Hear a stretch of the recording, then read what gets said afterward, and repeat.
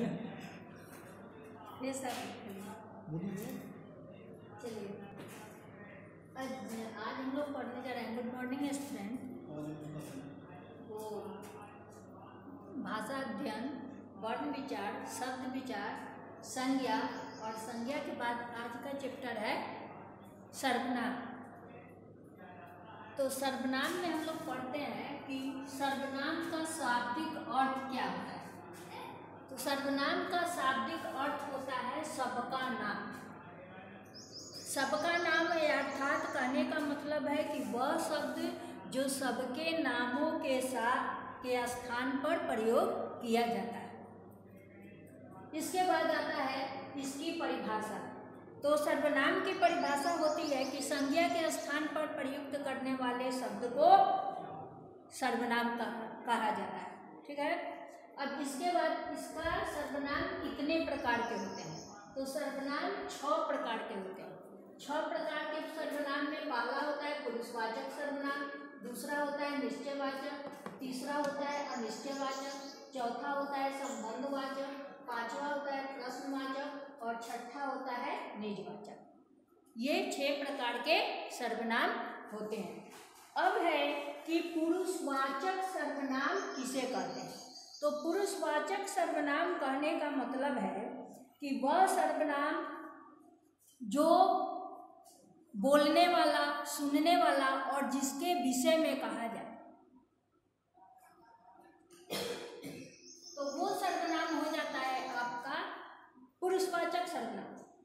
यानी बोलने वाला जो व्यक्ति बोलेगा और सुनने वाला कोई दूसरा होगा, वो उस चीज़ को सुनेगा। और तीसरा होता है, जिसके विषय में कहा जाए, जिसके विषय में बोला जाए। ये तीन प्रकार के लोग होते हैं, जो पुरुषवाचक सर्वनाम में आते हैं। इसलिए इसको तीन भागों में बांट दिया जाता है। पहला होता है उत्तम पुरुष। इसमें प्रयोग होता है, मैं, मुझे, हम, हमें दूसरा होता है मध्यम पुरुष तू आप तुम और तीसरा होता है अन्य पुरुष वह वे इसके बाद आता है निश्चय वाचक सर्वनाम।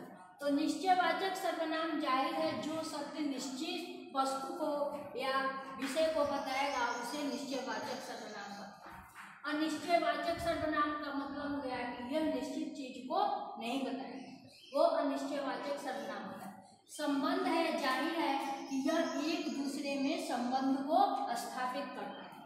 पांचवा होता है प्रश्नवाचक प्रश्न, यानी प्रश्न किया जाए वो प्रश्नवाचक सर्वनाम होता है और निजवाचक होता है, जो अपने विषय में स्वयं के लिए बोला जाता है, उसे निजवाचक सर्वनाम कहते हैं। इसके बाद आता है कि पुरुषवाचक सर्वनाम और निजवाचक सर्वनाम में क्या अंतर है?